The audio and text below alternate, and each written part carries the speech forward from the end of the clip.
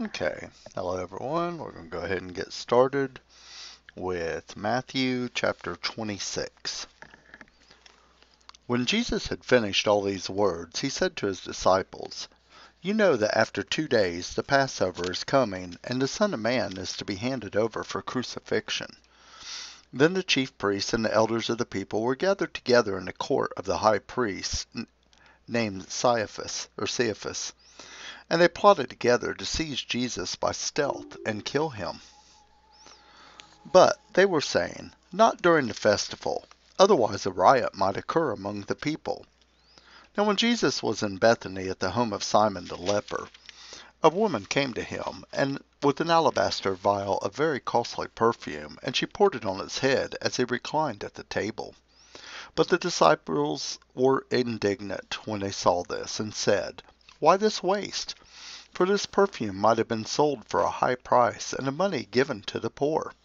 But Jesus, aware of this, said to them, Why do you bother the woman? For she has done a good deed to me. For you always have the poor with you, but you do not always have me.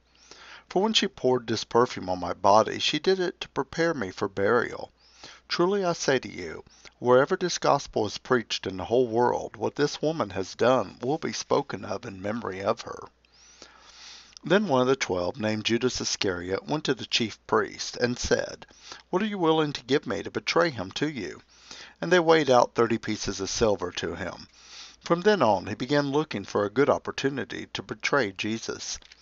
Now the first day of unleavened bread, the disciples came to Jesus and asked, Where do you want us to prepare for you to eat the Passover? And he said, Go into the city to a certain man, and say to him, The teacher, says, My time is near. I am to keep the Passover at your house with my disciples.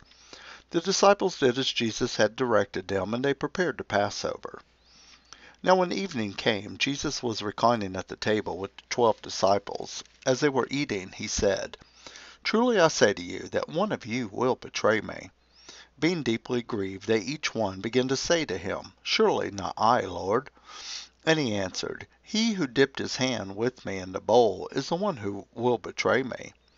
The Son of Man is to go, just as it is written of him. But woe to that man by whom the Son of Man is betrayed. It would have been good for that man if he had not been born. And Judas, who was betraying him, said, Surely it is not I, Rabbi. Jesus said to him, You have said it yourself. While they were eating, Jesus took some bread, and after a blessing, he broke it and gave it to the disciples, and said, Take, eat, this is my body.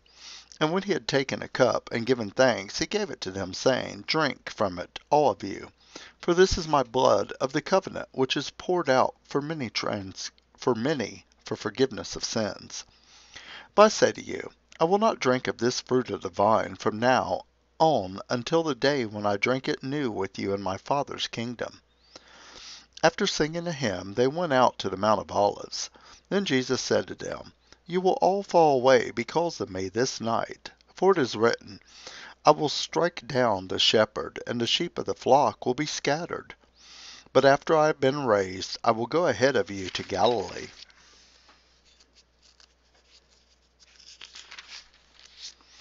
But Peter said to him, even though all may fall away because of you, I will never fall away.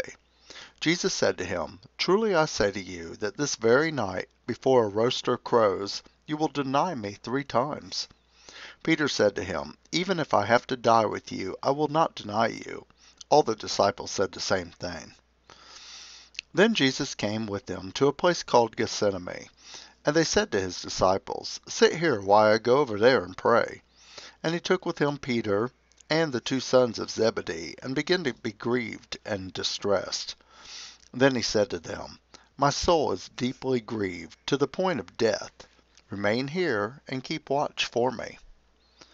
And he went a little beyond them, and fell on his face and prayed, saying, My Father, if it is possible, let this cup pass from me, yet not as I will, but as you will. And he came to the disciples and found them sleeping, and said to Peter, So you men could not keep watch with me for one hour?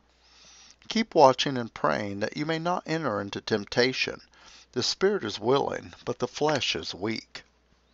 He went away again a second time and prayed, saying, My Father, if this cannot pass away unless I drink it, your will be done.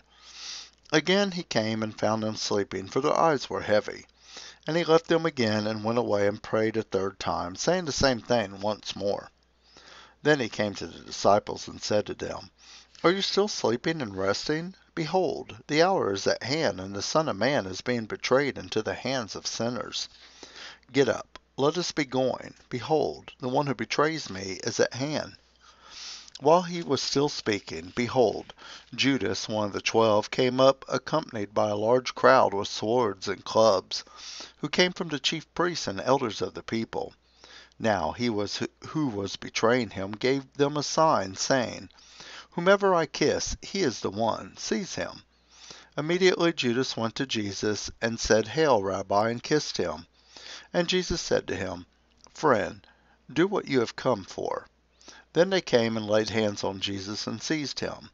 And behold, one of them, one of those who were with Jesus, reached and drew out his sword and struck the slave of the high priest and cut off his ear. Then Jesus said to him, Put your sword back into its place, for all those who take up the sword shall perish by the sword. Or do you think that I cannot appeal to my Father, and he will at once put at my disposal more than twelve legions of angels? How then will the scripture be fulfilled, which says that it must happen this way? At that time Jesus said to the crowds, Have you come out with swords and clubs to arrest me as you would against a robber?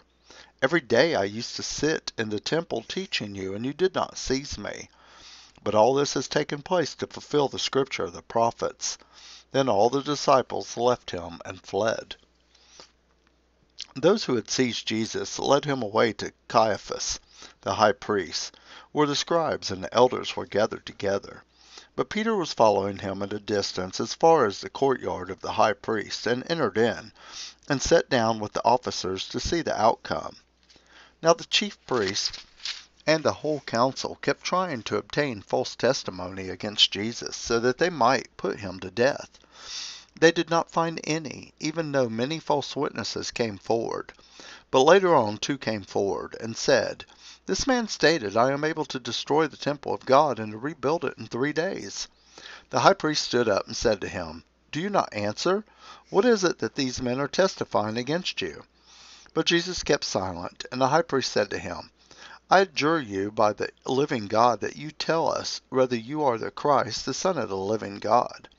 Jesus said to him, You have said it yourself. Nevertheless, I tell you, Hereafter you will see the Son of Man sitting at the right hand of power, and coming on the clouds of heaven. Then the high priest tore his robes, and said, He has blasphemed. What further need do we have of witnesses? Behold, you have now heard the blasphemy. What do you think? They answered. He deserves death. Then they spat in his face and beat him with their fists, and others slapped him, and said, Prophesy to us, you Christ, who is the one who hit you? Now Peter was sitting outside in the courtyard, and a servant girl came to him and said, You too were with Jesus the Galilean. But he denied it before them all, saying, I do not know what you are talking about. When he had gone out to the gateway, another servant girl saw him and said to those who were there, This man was with Jesus of Nazareth. And again he denied it with an oath, I do not know this man. A little later the bystanders came up and said to Peter, Surely you too are one of them, for even the way you talk gives you away. Then he began to curse and swear, I do not know the man. And immediately a rooster crowed. And Peter remembered which Jesus had said, Before a rooster crows, you will deny me three times. And he went out and wept bitterly. Matthew 20, chapter 27. Now when morning came, all the chief priests and the elders of the people conferred together against Jesus to put him to death. And they bound him, and led him away, and delivered him to Pilate the governor. Then, when Judas had betrayed him, saw that he had been condemned, he felt remorse, and returned the thirty pieces of silver to the chief priests and elders, saying, I have sinned by betraying innocent blood. But they said, What is that to us? See to that yourself. And he threw the pieces of silver into the temple sanctuary and departed, and he went away and hanged himself. The chief priests took the pieces of silver and said, It is not lawful to put them into the temple treasury, since it is the price of blood. Then they conferred together, and with money bought Potter's Field as a burial place for strangers. For this reason that field has been called the Field of Blood to this day. Then that which was spoken through Jeremiah the prophet was fulfilled. And they took the thirty pieces of silver, the price of the one whose price had been set by the sons of Israel, and they gave them for the potter's field, as the Lord directed me. Now Jesus stood before the governor, and the governor questioned him, saying, Are you the king of the Jews? And Jesus said to him, It is as you say. And while he was being accused by the chief priests and elders, he did not answer. Then Pilate said to him, do you not hear how many things they testify against you? And he did not answer him with regard to even a single charge. So the governor was quite amazed. Now at the feast the governor was accustomed to release for the people any one prisoner whom he, they wanted. At that time they were holding a notorious prisoner called Barabbas or Barabbas. Then so when the people gathered together, Pilate said to them, Who do you want me to release for you? Barabbas or Jesus, who is called Christ, for he knew that because of the envy they had handed him over. While he was sitting on the judgment seat, his wife sent him a message saying, Have nothing to do with that righteous man, for last night I suffered greatly in a dream because of him. But the chief priests and the elders persuaded the crowds to ask for Barabbas and to put Jesus to death. But the governor said to them, Which of these two men do you want me to release to you? And they said Barabbas. Pilate said to them, Then what shall I do with Jesus, who is called Christ? They all said, Crucify him. And he said, Why? What evil has he done? But they kept shouting all the more, saying, Crucify him. When Pilate saw that he was accomplishing nothing, but rather that a riot was starting, he took water and washed his hands in front of the crowd, saying, I am innocent of this man's blood. See to that yourselves. And all the people said, His blood shall be on us and on our children. Then he released Barabbas for them, but after having Jesus scourged, he handed him over to be crucified. Then the soldiers of the governor took Jesus into the praetorium and gathered the whole Roman cohort around him. They stripped him and put a scarlet robe on him. And after twisting together a crown of thorns, they put it on his head, and a reed in his right hand, and they knelt down before him, mocking him, saying, Hail, King of the Jews! They spat on him, and took the reed, and beat, or began to beat him on the head. After they had mocked him, they took the scarlet robe off him, and put his own garments back on him, and led him away to crucify him. As they were coming out, they found a man named Cyrene or a man of Cyrene named Simon, whom they pressed into service to bear his cross. And when they came to a place called Golgotha, which means place of a skull, they gave him wine to drink, mixed with gall, and after tasting it, he was unwilling to drink. And when they had crucified him, they divided up his garments among themselves by casting lots. And sitting down, they began to keep watch over him there. And above his head they put up the charge against him, which read, this is Jesus, the King of the Jews. At that time two robbers were crucified with him, one on the right and one on the left. And those passing by were hurling abuse at him, wagging their heads, and saying, You, who are going to destroy the temple and rebuild it in three days, save yourself. If you are the Son of God, come down from the cross. In the same way the chief priests also along with the scribes and elders were mocking him, and saying, He saved others, he cannot save himself. He is the king of Israel. Let him now come down from the cross, and we will believe in him. He trusts in God. Let God rescue him now, if he delights in him, for he said, I am the Son of God. The robbers who had been crucified with him were also insulting him with the same words. Now from the sixth hour darkness fell upon all the land until the ninth hour. About the ninth hour Jesus cried out with a loud voice, saying, Eli, Eli, lama sabachthani, that is, My God, my God, why have you forsaken me? And some of those who were standing there when they heard it, began saying, This man is calling for Elijah. Immediately one of them ran, and taking a sponge, he filled it with sour wine, and put it on a reed, and gave it to him to drink. But the rest of them said, Let us see whether Elijah will come to save him. And Jesus cried out again with a loud voice, and yielded up his spirit. And behold, the veil of the temple was torn in two from top to bottom, and the earth shook, and the rocks were split, and tombs were opened, and many bodies of the saints who had fallen asleep were raised. And coming out of the tomb after his resurrection, they entered the holy city and appeared to many. Now the centurion and those who were with him keeping guard over Jesus, when they saw the earthquake and the things that were happening, became very frightened and said, Truly this was the Son of God. Many women were looking there on from a distance, who had followed Jesus from Galilee while ministering to him. Among them was Mary Magdalene, and Mary the mother of James and Joseph, and the mother of the sons of Zebedee. When it was evening, they came, or there came a rich man from Arimathea, named Joseph, who himself had become a disciple of Jesus. This man went to Pilate and asked for the body of Jesus. Then Pilate ordered it to be given to him. And Joseph took the body and wrapped it in clean linen cloth and laid it in his own new tomb, which he had hewn out in the rock. And he rolled a large stone against the entrance of the tomb and went away. And Mary Magdalene was there, and the other Mary sitting opposite the grave. Now the next day, the day after the preparation, the chief priests and the Pharisees gathered together with Pilate, and said, Sir, remember that when he was still alive, that deceiver said, After three days I am to rise again. Therefore give orders for the grave to be made secure until the third day. Otherwise his disciples may come and steal him away, and say to the people, He has risen from the dead. And the last deception will be worse than the first. Pilate said to them, You have a guard. Go and make it as secure as you know how. And they went and made the grave secure, and along with the guard they set a seal on the stone. Matthew chapter 28.